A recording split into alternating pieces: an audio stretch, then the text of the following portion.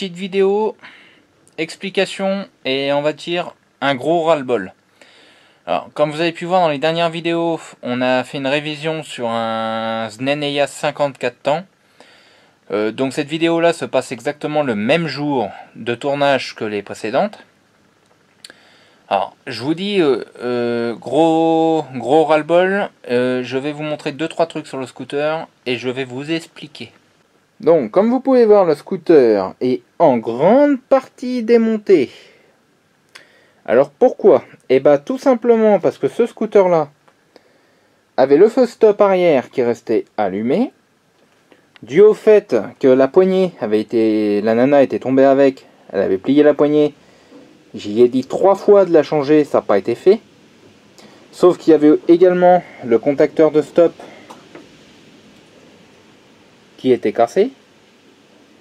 Donc ça, le contacteur de stop, je l'ai... En fait, j'ai actionné la poignée, je l'ai rentré dedans, j'ai mis deux, deux Colson pour le tenir, mais bon, c'est du provisoire. Là, comme vous pouvez voir, il n'y a plus de compteur, parce que euh, il y a eu un autre problème derrière. Alors, il y avait eu les, le clips d'aiguille du carbu qui était absent, alors que c'était dessus quand j'avais fait moi le scooter, vu que c'est un carbu neuf, c'est un carbu que j'ai moi-même monté, moi-même réglé, donc je sais très bien dans quel état il était quand j'ai rendu le scooter à la personne. Euh, au passage, gonfler les pneus, ça doit être euh, trop compliqué. Je pense. Je suis curieux de savoir combien il y a dedans. Donc voilà combien il reste dans le pneu.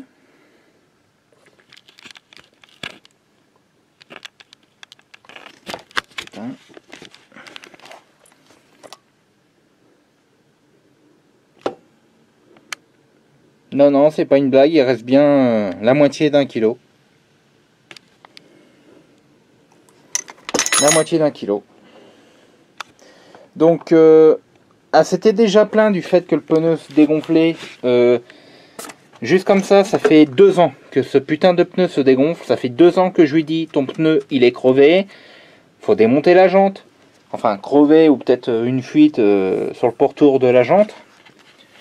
Il euh, n'y a pas 36 solutions. C'est soit on change le pneu, soit on met... Euh, enfin, faut faire un test euh, d'étanchéité. Donc en fait, faut démonter la roue, la gonfler à 2,5 kg, la foutre dans une, dans une bassine de flotte, voir où que ça fuit. Si ça fuit autour de la jante, faut démonter le pneu, gratter la jante, remonter le pneu, refaire un essai. Si ça fuit, c'est que le pneu il est bouffé au niveau du, flanc, donc il faudra changer le pneu. Ça fait deux ans que je lui dis ce problème-là, ça fait deux ans qu'elle est, qui reste comme ça. Le problème, c'est qu'en plus, la personne, encore, on a un véhicule qui se dégonfle. Bon, ça peut arriver. Moi, j'ai le DT, la roue avant a fait que se dégonfler. Mais je fais la pression de mes pneus, putain de merde. Là, faut pas me dire qu'avec 500 grammes, euh, enfin, que la moitié d'un kilo, faut pas me dire qu'on on, le sent pas. C'est pas possible. Vous avez une grosse perte euh, d'adhérence et une perte de puissance avec un pneu qui est autant dégonflé. Donc il n'y a pas que ça, hein. euh, il y a ça, il y a... J'ai voulu lui changer les clignotants en lui donnant mes anciens clignotants DT et j'ai fait sauter deux fusibles et j'ai cramé euh, la centrale de clignotant. Pourquoi? Bah attendez que je retrouve le truc. Alors j'ai cramé la centrale et deux fusibles. Bah pourquoi? Bah tout simplement parce que voilà ce qui arrive quand on soude pas les fils. Les fils en fait ont été tortillés, ils ont foutu du Chetterton autour, sauf que le Chetterton ça ne tient pas. Le Chetterton s'est barré, les deux fils se sont foutus ensemble.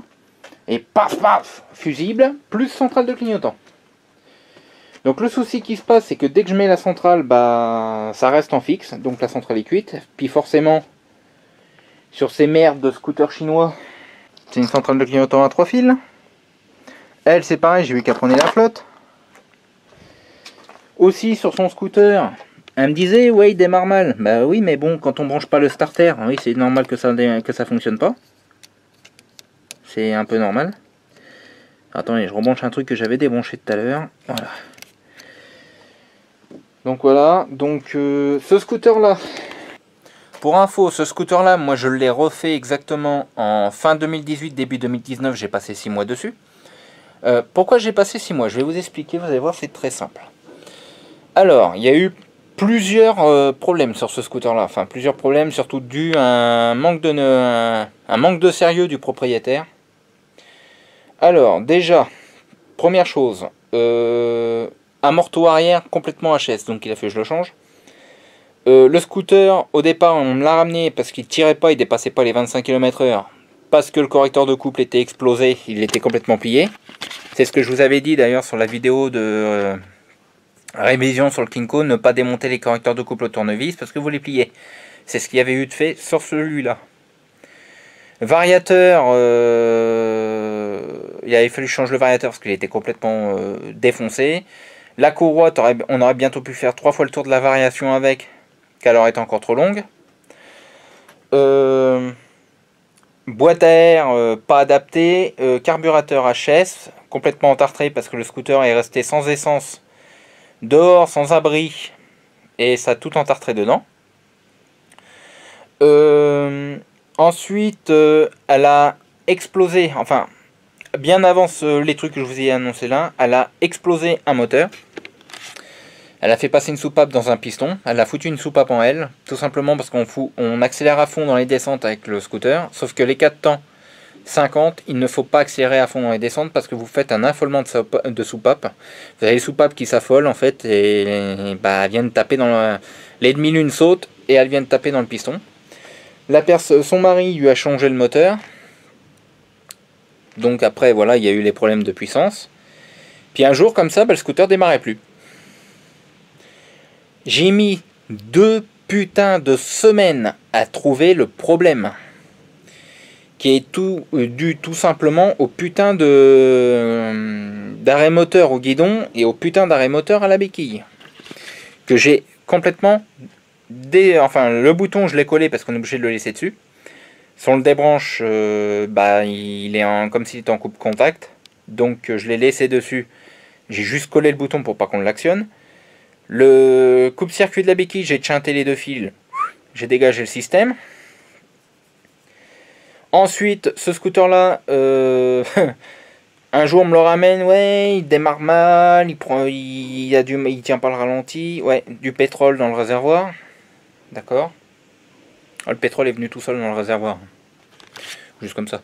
Non, parce qu'on m'a dit que c'était pas possible, donc il est venu tout seul. Euh, il y a eu quoi d'autre? Il y a eu euh, ah oui, après elle avait, ouais, avec le nouveau moteur que son mari avait monté, elle n'a pas fait le niveau d'huile. Et c'est un jour comme ça, euh, je regarde le niveau d'huile, je fais mais dis donc, t'as pas une goutte d'huile dans ton moteur? Ah, ah bon? Je fais ouais mais par contre ton moteur il a dû prendre cher. Je, décu je déculage, j'enlève le sien et tout ça. Euh, euh, cylindre HS, piston HS, segment HS. Donc on a tout récupéré sur un ancien scooter. On avait fait une, une remise en état de la culasse, donc changement de joint de queue de soupape et tout ça. J'ai refait tout le moteur, j'ai changé le carbu, changé la pipe d'admission qui était cassée, euh, changé la boîte à air. Euh.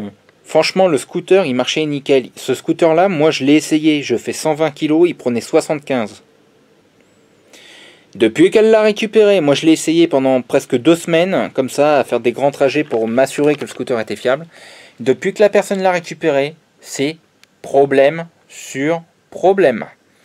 Et tout simplement pourquoi? Parce que cette personne ne sait pas se servir d'un scooter, elle ne, fait aucun entretien. La preuve, le pneu euh, 2,5 kg il faut dedans, il manque 2 kg, il n'y a plus que 0,5 ça se sent franchement. Euh, moi, euh, même quand il me manque 1 kg sur le DT, pourtant les roues sont plus, plus grosses euh, dessus, enfin ils sont plus hautes, je le sens. même la mobilette, je le sens. Je le sens quand un pneu est à plat. Là, faut pas me dire qu'on ne le sent pas.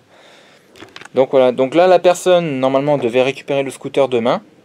Euh, ça va pas être possible parce que très clairement, euh, déjà on, devait me l'amener en début d'après-midi, on me l'a ramené en fin d'après-midi. Euh, à l'origine, je devais faire tout simplement une putain de révision dessus. Mais le souci, c'est que. bah oui, d'accord, il y a une révision à faire, sauf que bah, dès que je voulais clignotant, ça saute. Et pourquoi? Bah tout simplement parce que bah il y a un fil qui a été coupé, qui n'a pas été soudé. Ça a cramé la centrale au passage. Donc la centrale, euh, je pourrais la remonter, elle aurait des clignotants, sauf que les clignotants, bah, ils restent fixes. Donc voilà. Donc les fusibles, moi j'en avais plus que deux ici. Bah les deux au revoir. Parce que moi, moi le DT, il est pas là, il est dans un garage euh, d'un ami. Et tous les fusibles sont dedans. Il me restait que deux fusibles ici, bah, j'ai niqué les deux. Donc à voir. Mais en tout cas, c'est franchement, j'en ai marre quand tu te fais chier comme ça à réparer des scooters, que les gens ils touchent à tout, que c'est jamais eux. Euh, euh, voilà, euh, de dire ouais, c'est de la merde, je suis tout emmerdé. Bah oui, mais bon, tu ferais un entretien dessus, tu serais pas emmerdé. T'arrêterais de le prêter, tu serais pas emmerdé. Et puis voilà quoi. Donc, il y en a qui pourraient croire, ouais, tu racontes ta vie. Ben oui, mais bon. Voilà. C'est un peu pour faire le tour aussi. Ce scooter là, Normalement, il est en vidéo. Il y a deux vidéos sur la chaîne. Il y a la vidéo panne d'allumage. Il y a aussi une très très vieille vidéo qui date des débuts de la chaîne YouTube, euh, je crois, si je dis pas de conneries. Euh, voilà quoi. Fait chier pendant 6 mois à refaire un scooter, puis au final, voilà le résultat. Donc, une nouvelle petite découverte sur le scooter. Euh, alors, je sais pas si vous allez arriver à voir.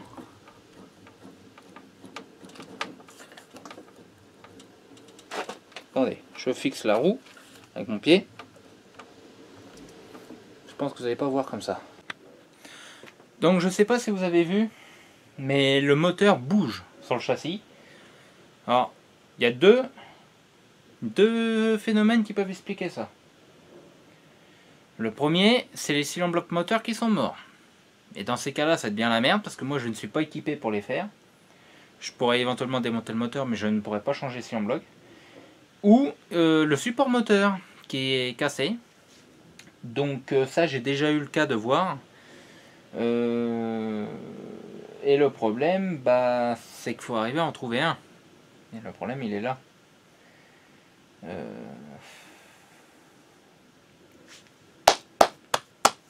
Ça continue. Ça continue. Ce scooter-là va pas, va pas me, me foutre la paix 5 minutes. Ah, je me je dis que je suis emmerdé tout le temps avec mes bécanes, mais je vois que je suis. C'est de la rigolade les miennes à côté. Hein. Donc ça y est, j'ai trouvé le problème.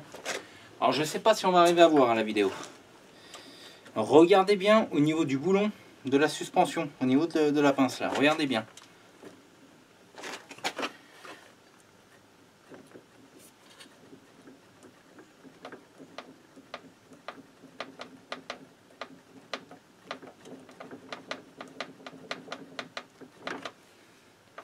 Vous avez compris? Silent bloc d'amortisseur mort. Euh, c'est le deuxième.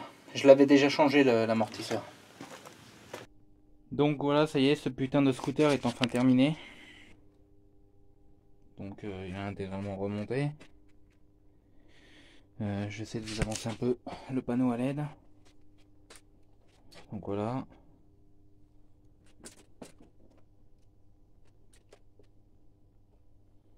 Voilà, voilà. Donc euh, j'ai été chercher une centrale de clignotant cet après-midi, il y a un défaut dessus. Mais bon. Comme m'a fait esprit, maintenant la centrale euh, de clignotant d'origine fonctionne.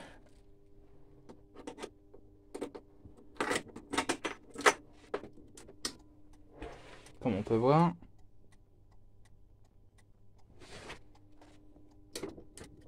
Les deux côtés. Même les warnings. Ce scooter fait les warnings. Ça qui est bien.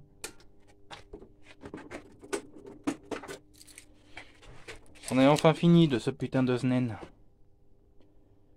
Jusqu'à la prochaine fois que la, la personne le remettra en panne. À une prochaine vidéo les amis.